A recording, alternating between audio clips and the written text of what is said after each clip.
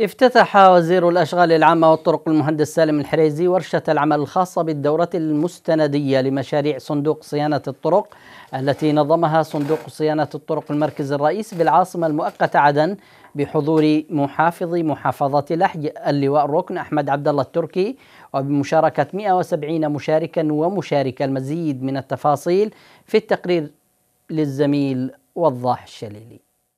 المؤسسي التي تقيمها وزارة الأشغال افتتح وزير الأشغال العامة والطرق المهندس سالم الحريزي ورشة العمل الخاصة بالدورة المستندية لمشاريع صندوق صيانة الطرق التي نظمها صندوق صيانة الطرق المركز الرئيسي بالعاصمة المؤقتة عدن. في الورشة التي حضرها محافظ محافظة لهج اللواء الركن أحمد عبد الله التركي ألقى وزير الأشغال العامة والطرق كلمة أشاد من خلالها بجهود قيادة وكوادر الصندوق والنشاط الملحوظ في عملية البناء المؤسسي.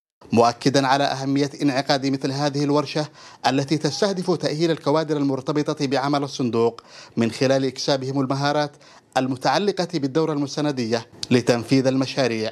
تعتبر جزء من تنمية الصندوق الذي وجه فيها دولة رئيس الوزراء بأن لابد من تأهيل الكوادر وزارة الأشغال والصندوق والمؤسسة العامة للطرق والجسور.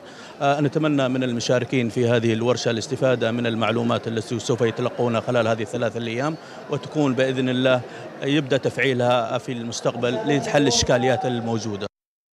رئيس مجلس إدارة صندوق صيانة الطرق المهندس معين الماس وفي كلمته أمام الحاضرين استعرض خلالها جملة من المشاريع التي نفذها الصندوق خلال الفترة الماضية وأهمية الاحتكام إلى المعايير التي حددها الصندوق في عملية تنفيذ المشاريع. تكمن أهمية الدورة هذه في إعطاء في رفع قدرات الكادر الفني سواء وزارة الأشغال والمقاولين القطاع الخاص والقطاع العام. آه سمكن هذه الدورة القطاع الفني من تنفيذ المشاريع وبكل سلاسة. هي تسعى إلى آه ضبط الإجراءات وتسهيلها تسهيل إجراءات الصرف لشركاء العملية كامل.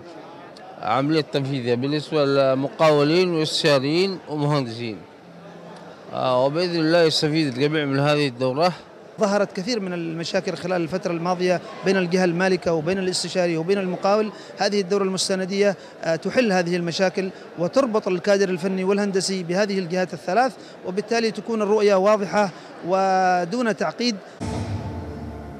وعلى هامش الورشة تم عرض فيلم وثائقي قصير يلخص نشاط الصندوق وما تحقق من مشاريع استراتيجية نفذها الصندوق خلال الفترة الماضية.